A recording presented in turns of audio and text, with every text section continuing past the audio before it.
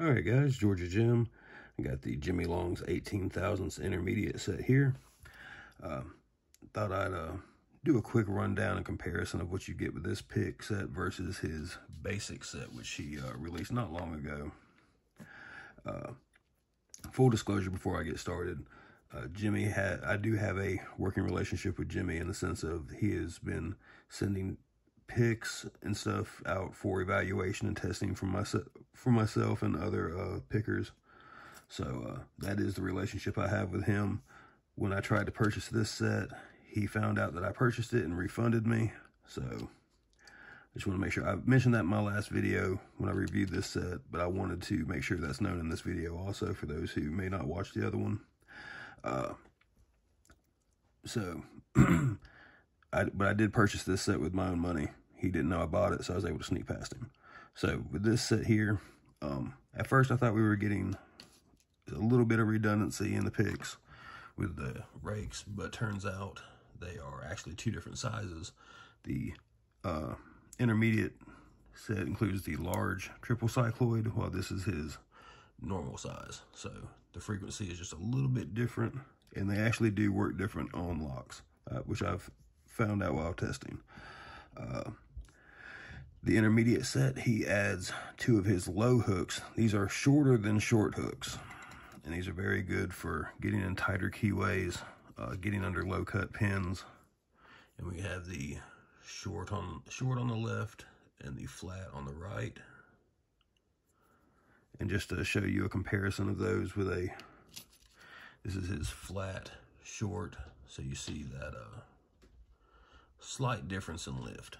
The uh, flat, the short gives you, is just slightly taller than these low profiles. Then we have his short round in the intermediate set. And again, there's that short flat for comparison. Uh, my opinion, the rounds are better for tighter warding, restrictive warding, but for more open keyways, these flats are my personal favorites. I try to use these as much as I can. Uh, but yeah, so pretty much another short hook uh, in the same same feel as the uh, flat. It's just, again, this uh, more rounded tip helps get through the warding a little better, in my opinion. Uh, he offers his uh, flat medium hook, which this is a hook I use quite a bit, especially on challenge locks and things like that. For whatever reason, it, it just makes the feedback make sense to me. And this is the medium from the basic set, the medium round for comparison. So, uh, so if you bought either set, you would not be, if you, I'm sorry, if you bought both sets, you wouldn't be getting any redundancy. Each, uh, each set does have its own things. There's nothing from this set that's going to be the same from this set. Uh, as far as the top of the keyway tensioners, these are very strong, very rigid tensioners. Uh, let me see, is a 30? Here's a 30 thousandths Peterson, which is pretty thick for 30, I mean, pretty stiff for 30 thousandths. And this is his 30 thousandths from Jimmy. And they are very comparable in thick and stiffness versus something like, let's see, this 30 thousandths from uh, Sparrows. The knurling just makes these weaker in my opinion. But uh, for Multipick. let's see if this is, this is the 40. So we have the 40 from Multipick. Here's the 40 from uh, Jimmy. Again, both have very rigid Of course, they have some flex to them, but uh, they have very good feedback to them. In the 50,000 tensioners, it's hard to mess up 50,000s. I'm not trying to be funny about it, but pretty much any 50,000s tensioner is pretty uh, pretty stiff and pretty strong. So 50,000s are a low bar to set, in my opinion. It's the 30 and the 40s is where it really starts to matter. And uh, the Jimmy tensioners did very well here. So they do have some slight uh, marks from where they were laser cut. If I can get that, you can probably see those. Yeah, there and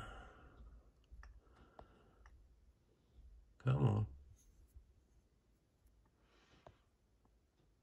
Yeah, there and there, but that's in my opinion, that's just a that's really just nitpicking. It's I'll never feel that while while tensioning or picking, so it's not even a factor for me.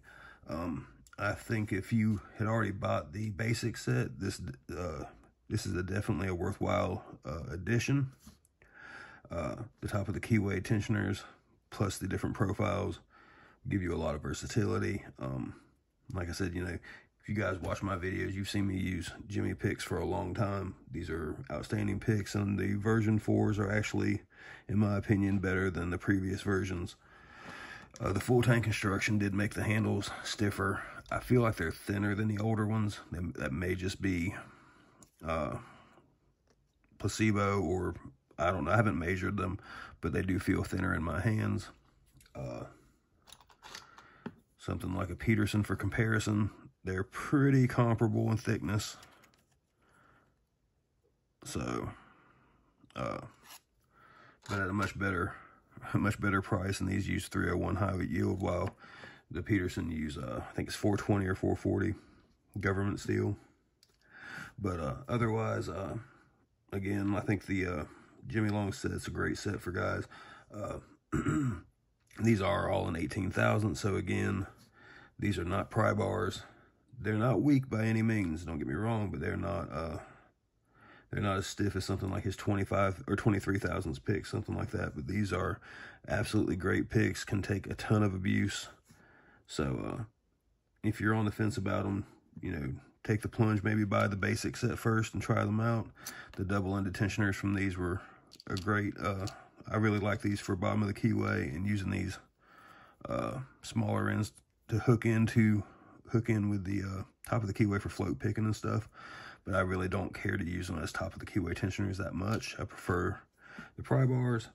But otherwise, uh, the intermediate set here is a great buy. Again, I think it's 30 bucks for this set, 20 for this set. So for 30 bucks, uh, you're getting you're getting a lot of value for the price. Um, Jimmy is supposed to be releasing a case or pick roll eventually. So keep your keep your eyes out for that stuff. Um, but otherwise, uh, check out Jimy Long's guys. Uh, give him your money, get good picks, and go open some locks.